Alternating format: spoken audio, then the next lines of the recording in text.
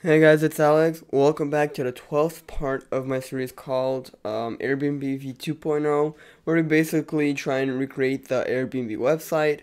Um, what we're going to be doing in this episode is we're going to be doing minor changes. Um, because you can see here that they've updated their Modo, not a problem at all.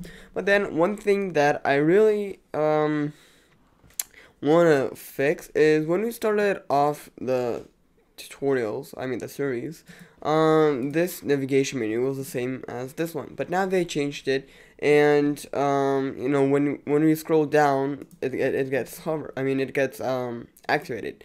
So we're gonna change that. Um, it's really simple to do. So let's start off with the Modo actually. So I'm just gonna go ahead and copy this. Let me move my text editor here. By the way, I'm using Atom. You can download it at atom.io because I get uh, this question on like literally every video um, on what text editor I use. So we're gonna wrap around Airbnb in a span, span, not spam. Uh, come on come on span. There we go. Let's see we're gonna add breaks. After and we're gonna add a break. I can't see from my microphone what I'm typing. Okay, let's refresh and there we go. Yeah, that that looks pretty much uh, the same. Um, I think here there's a little bit of like it's not really the effect that we want. So I'm gonna go ahead and I'm gonna add a border of uh, 2 pixels. And I think that looks better. Okay, and now what we're going to do um, is fix the navigation menu. So this is going to be a short tutorial, hopefully. Um, and then in the next tutorials, we're going to be creating basically, you know, these menus. And then we have the footer and we're basically done. Alright, so let's continue with uh, the navigation menu. What we're gonna do here is we're gonna navigate to top nav.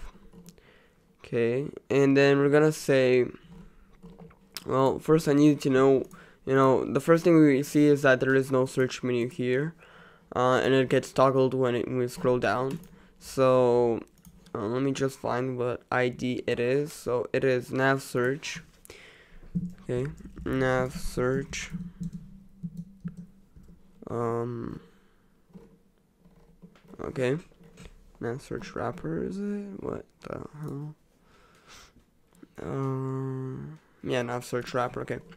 So we're basically gonna say um display. Oh, sorry, my cat just stepped on my computer. We're gonna say display none.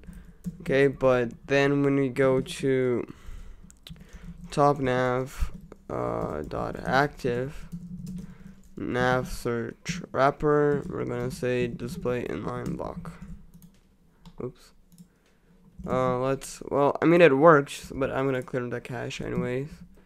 Uh, okay. Now when we scroll down we get that uh, effect. Okay. Um, but then the other thing is that there is no border here so I think we're gonna have to remove the borders as well as you can see yeah okay so um where are the borders here. Um is it for the logo? Logo link uh top nav okay so we're gonna say I'm just gonna copy this basically and then we're gonna say we're gonna add it here. So now the border bottom is fixed Okay, and then the only thing we need uh, to fix is this, and also the logo. But we know, you know what? We're not we're not gonna be messing with this logo, and we might remove this hover effect. But let's see border right where it is. I don't see it, and oh, there we go. And then we're gonna say top nav dot active and logo image uh, like this. Okay, yeah, that's pretty much what we wanted. Uh, okay, yep. Um, then let's finally remove, you know, the hover effect. So we're basically gonna be removing this. Yeah, okay. And let's see how it looks here. Pretty similar. Um, one thing that I also see is this drop shadow. So I'm gonna click on inspect and see if we can find it exactly. Um, transparency. What is this? No, I don't want the input. I want the whole class of the navigation. Uh, let me just click Command Shift C and kind of find it like this. Come on. Is it like little really separated into many parts? Isn't it? Isn't it one big like navigation? I mean div. Okay, there we go. Header. Um. I'm looking for box shadow, but I don't see anything. Yeah. I don't see any box shadow. Let's try here. Okay, there we go. We found a little box shadow. I'm gonna copy this.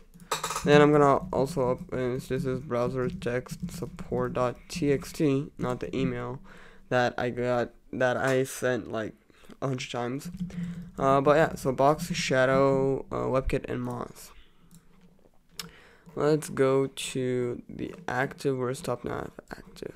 Okay, there we go. Oops. Box, shadow.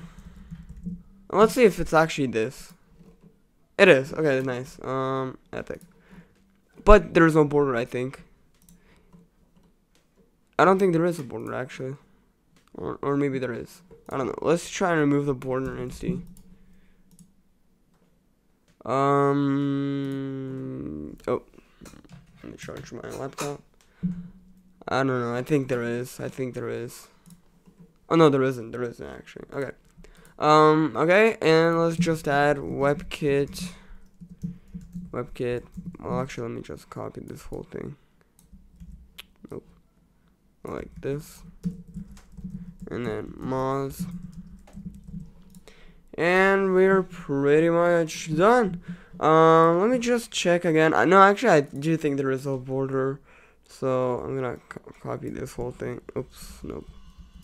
And then kind of like this, and there we go. Oh god. Um, let's try E E E. Yeah, I think that's that's it. Yep. Okay, so uh, the border is e, e, e here, so I'm gonna find uh, that as well. Uh, CCC. There we go. Let's change that to E E E. Okay, well, we're pretty much done. This is it for this tutorial. Um, it's a really short tutorial, but I'm gonna record a whole bunch right now, and I'm gonna schedule them throughout you know the upcoming weeks. Uh, but yeah so that's been it for this tutorial. Hope you guys enjoyed and I'll see you in the next one. Peace.